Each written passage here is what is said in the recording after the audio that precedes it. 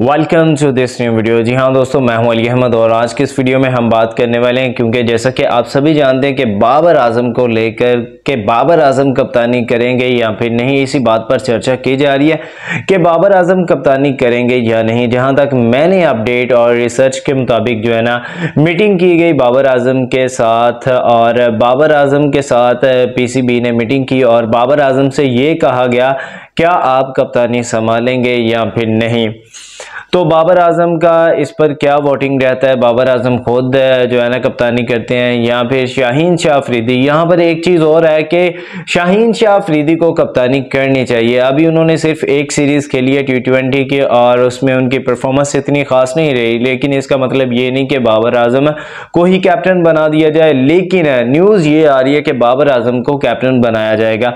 अब बाबर आज़म को काफ़ी ज़्यादा इज़्ज़त और रिस्पेक्ट इसलिए दी जा रही है कि बाबर आज़म ने साढ़े तीन साल तकरीबन है।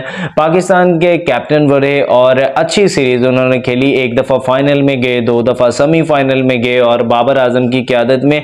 आप ये नहीं कह सकते कि टीम जो है ना डाउनफॉल हुई। टीम ने ग्रो किया, सभी प्लेयरों ने अच्छा खेला सभी प्लेयरों ने जो है ना ग्रो किया और सभी प्लेयर अच्छा खेले थे और Babar Azam captain I think अच्छे कैप्टन है वो। मेरे ख्याल से जो मेरा ओपिनियन है बाबर आज़म को लेकर वो ये है कि बाबर आज़म एक अच्छे कैप्टन है, उन्हें कप्तान कप्तानी करनी चाहिए। और वो जब कैप्टनी करते हैं भाई, सब दूसरे प्लेयरों में जो है ना काफ़ी जस्तजू आती है, काफ़ी अच्छे से जो है ना वो खेल पाते हैं। अब देखना यह है कि बाबर आज़म ने मीटिंग की है पीसीबी से और पीसीबी में जब बाबर आज़म ने मीटिंग की और अभी ऑफिशियली ये अनाउंस नहीं हुआ, अभी तक तो शाहीन शाह अफरीदी ही कैप्टन है, लेकिन कहा यह जा रहा है कि बाबर आज़म कैप्टन होंगे। इसमें कितनी सदाकत है, कितनी सच्चाई है इसमें, ये तो भाई अभी कोई बंदा कंफर्म नहीं कह रहा कह सकता क्योंकि मैं देख रहा हूँ सोशल मीडिया पर यही खबरें जो है ना आ रही हैं कि बाबर आज़म कैप्टन है, सिर्फ़ बाबर आज़म कैप्टन है, बाबर आज़म के फैंस खुश हो रहे हैं। शाहीन से आफरीदी के फैंस जो हैं वो नाराज़ हो रहे हैं कि शाहीन कैप्टन क्यों नहीं? अब शाहीन को यहाँ पर मौका मिलना चाहिए कि वो कप्तानी संभालें, लेकिन अब बात यह है कि बाबर आज़म सीनियर है और बाबर आज़म को कप्तानी मिल भी सकती है और शाहीन के कप्तानी की छुट्टी भी हो सकती है।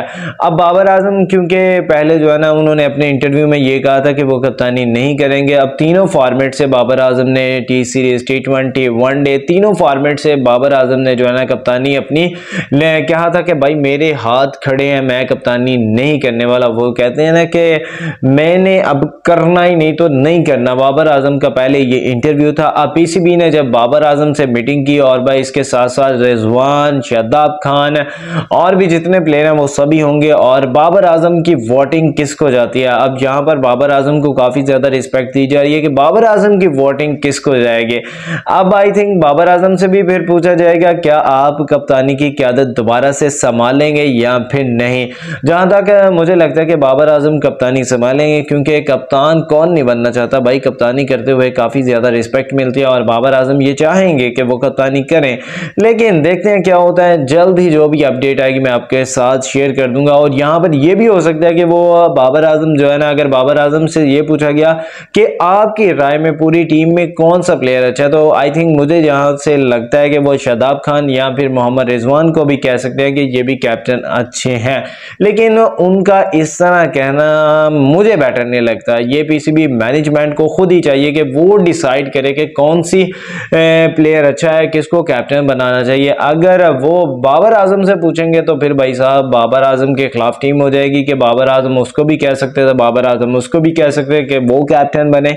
आई थिंक ये सिचुएशन प्लेयरों के अंदर हो जाएगी तो बिल्कुल भी ऐसा नहीं करना चाहिए। पीसीबी को खुद चाहिए कि वो किसको अच्छा समझते हैं और किसकी परफॉर्मेंस को अच्छा समझते हैं। अगर वो बाबर आज़म की परफॉर्मेंस को अच्छा समझते हैं तो बाबर आज़म को कैप्टन बना सकते हैं, किसी को कोई दिक्कत नहीं होगी। अगर बाबर आज़म से खुद पूछ कर के भाई आप कैप्टन बनेंगे वो तो कहेंगे हम बनेंगे। अगर उनकी वोटिंग के हवाले से अगर उन्होंने बात की तो फिर भाई गलत है क्योंकि प्लेयरों के सामने एक प्लेयर दूसरे प्लेयर को कह रहा है तू बन जा तू बन जा तू बन जा। इस तरह नहीं होता। जो मैनेजमेंट होती है वो अगर किसी को मुंतब कर जाएगी प्लेयरों का आपस में जो है ना वो ए, मतलब टुगेदर रहेंगे नहीं तो वो भाई वो अलग अलग खेलेंगे अलग अलग सोच हो जाएगी और इस तरह की सोच को जो है ना वो डिवेल्प ना करें। बाकी देखते हैं कौन कैप्टन बनता है। आपको क्या लगता है अपनी राय का इजहार कमेंट बॉक्स में लाजमी कीजिएगा। टेक केयर अल्लाह हाफिज़।